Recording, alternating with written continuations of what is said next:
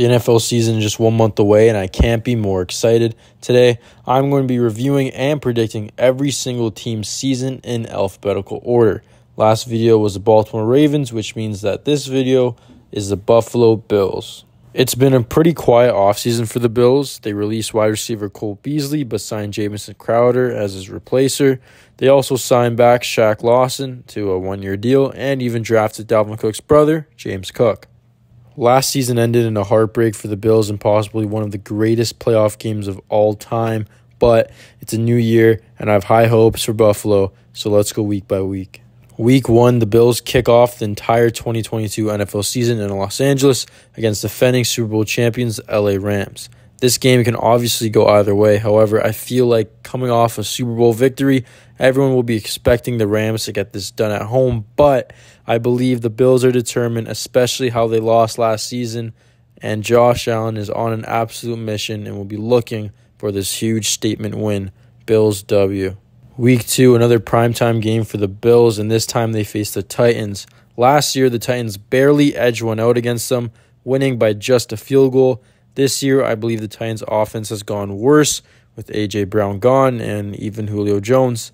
It's the Bills' home opener, so I'm giving the Bills another win here. Week three, the Bills travel down south to play division rivals, the Dolphins. Listen, I don't care that the Dolphins made some trades, made some signings, and on paper looks as if they have improved.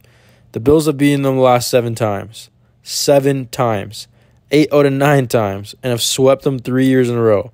The Bills are winning this game. Week four, it's going to be a good game against the Ravens. I spoke about this in my previous video. This will be a very, very back and forth game. But at the end of the day, if you compare the Ravens wide receiver corps compared to the Bills, the Bills corps wipes. I also think that the Bills defense will be getting more stops on the Ravens offense rather than the Ravens defense getting more stops on the Bills offense. So another Bills W.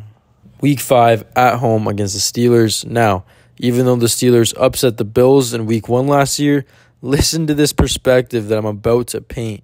Josh Allen is a starting quarterback of the Buffalo Bills, and last year, Mitch Trubisky was the backup quarterback of the Buffalo Bills. In this game, Josh Allen will be going throw for throw against his last year's backup, unless Kenny Pickett starts, but still, Josh ain't losing to no rookie.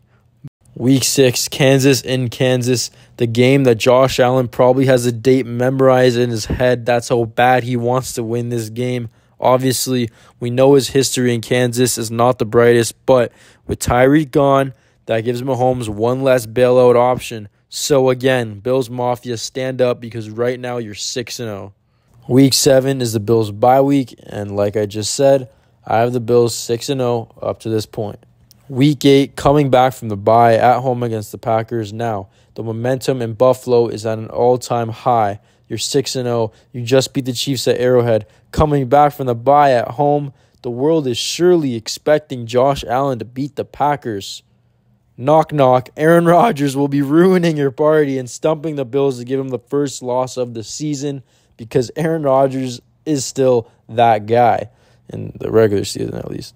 Week 9, the Bills play the Jets, easy dubs. Week 10, they play the Vikings. I really want to give Minnesota an upset win here, and I actually am. It's NFC North fever this year for Buffalo, and the Vikings will be handing them their second loss of the season. Week 11, the Bills versus the right off season Browns. So, easy dub. Week 12, Bills versus Lions. Week 13, playing the Patriots in Gillette Stadium. You just cannot ignore that playoff game last year, but it is in the playoffs, it's the regular season, and at this point in time, the Bills would have lost two of their last four. A lot of film for Bill Belichick to pick from. And if there's going to be a person who can snag one from you on an anything can happen primetime game, it's going to be Bill. Week 14, Bills versus Jets. It's a divisional rival game, but I mean, this late in the season, the Bills will be polished up. So another dub. Week 15 versus the Dolphins. This game is in New York, and I feel like this game is going to be a one score game. However, when it's a tight game, most often than not, the better quarterback always comes out on top. And in this case, it's Josh Allen versus Tua. So that means, yes, Buffalo is sweeping Miami for the fourth season in a row. Week 16 versus the Bears. The Bears literally suck so bad it hurts my brain at times. So easy Bills win. Week 17, a very interesting game against the Bengals, a primetime game, in fact, in Ohio as well. I mean, let's be realistic here. You can go either way. Both quarterbacks are able to get this win. Both quarterbacks are able to have a big comeback. Both quarterbacks are just extremely good at football. So, in this case, I'm rolling with the home team. Bengals win, Buffalo loss. Week 18, the Bills play the Patriots, and just like last year, the Bills will polish up against the Patriots and finish their season off on a dub. That means I have the Bills going 13 4 on the year. Is this their year?